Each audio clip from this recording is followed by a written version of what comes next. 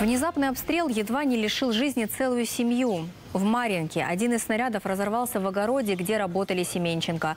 Выжили чудом, но отец и дочь получили серьезные травмы. Мы и так на линии разграничения сейчас находимся. В Маринке перестрелки не утихают ни днем, ни ночью. Больше всего страдают жители окраин. Опасно находиться даже в собственном дворе. Хочется, чтобы это закончилось уже.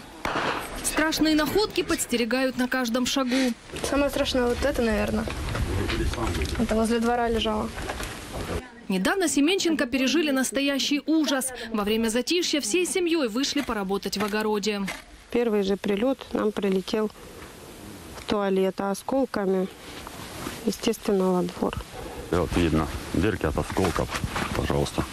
Было вообще так развалился, это так чуть-чуть. Кры- Крыши вообще не было, все разлетелось. Алексея ранило. Извлечь осколок из ноги врачи не смогли. Опасались, что после этого не сможет ходить. Дочь Карину контузила. Все как в тумане. Более такое. Вот, потом меня оглушило на минуты две. Забежали в дом, я ничего не слышала. За помощью решили не обращаться. Девочку госпитализировали только спустя несколько дней, когда терпеть головные боли уже не было сил. Необходимыми медикаментами семью обеспечил гуманитарный штаб Рената Ахметова. Молодцы, спасибо. Да, отреагировали быстренько, конечно. Да, на второй день уже нам позвонили.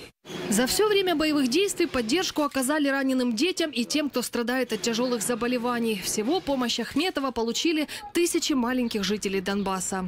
Ренату Ахметову большое спасибо за гуманитарную помощь, что оказали. Сейчас Карина старается наверстать школьную программу, но не всегда посещает занятия. Бывает, учителя звонят утром, что обстрелы, и не идите в школу. За три года войны находиться в постоянном страхе устали все жители Маринки. Бачу, що вдома побито все. Дітка, ой, немає віку. Ой, так жить. Лучше бляха здохнуть. В поисках спокойной жизни семья Семенченко покидали город, но, несмотря ни на что, вернулись обратно. Мир встретить хотят у себя дома. Здесь школа, здесь друзья остались, и дом. Все равно домой хочется. Даже несмотря на обстрелы, все равно домой хочется. Оксана Корчма, Евгений Якунин. Для сегодня канал «Украина».